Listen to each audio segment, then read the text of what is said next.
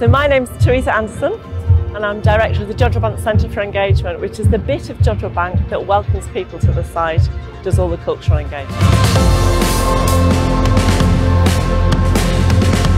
Yeah, bluedot, it's just such an evocative name. It's really poetic if you know the story of it.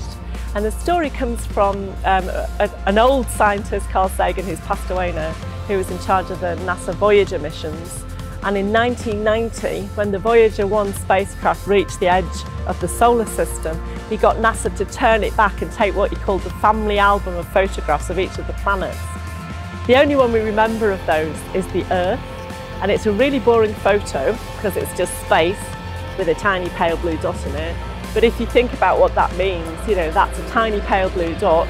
And he wrote this amazing thing saying, that's here, that's home, that's us. And on that tiny dot, everybody you've ever known lived. You know, all the kings, all the historical people, and you know, everything's played out on this planet. And so and it, it goes on a bit. And then at the end, he said, it reminds us to behave more kindly to one another and look after this pale blue dot, the only home we've ever known. And so that is kind of right at the heart of the festival. Yes, so it's important this is a World Heritage Site because it puts science firmly at the heart of culture. And one of the things that was really interesting at the start of the process, which is a bit of a long haul, was going into the cultural and heritage sector and talking about science and everybody going, what?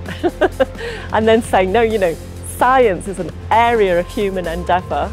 It's got its cultural aspects like any other area. And so like your, your architecture, your medieval cities, your pyramids, you know, science is the heritage of the future and we should be paying attention to it now. Yeah, weirdly, I've got, you know, qualifications in physics, but I've also got an MA in fine art.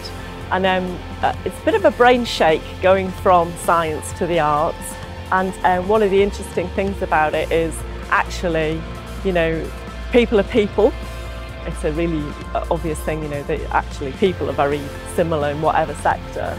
Um, and in, in either, you know, field, and they are very diverse, you get people who are good at it, people who are diligent, people who are inspired, people who are creative in science and engineering as much as the arts. Um, and really, you know, when you put people who are really good at science and art together, you find out there's so much in common between these two areas.